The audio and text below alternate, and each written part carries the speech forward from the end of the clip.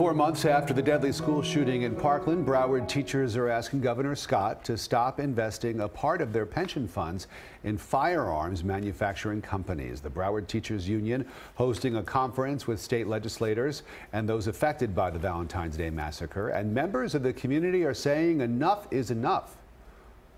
The shooter came into the 1200 building and he went to my daughter's classroom and he shot through the classroom with an AR-15 gun directly at my daughter. Ten times my daughter was shot and killed. There's no reason that we need an AR-15 an assault rifle. 3% of Broward teacher salaries are taken out and partially invested in firearms companies.